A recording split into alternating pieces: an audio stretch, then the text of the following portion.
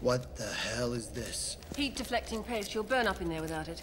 Smells like puke. I pre-digested it to increase its potency. It's puke!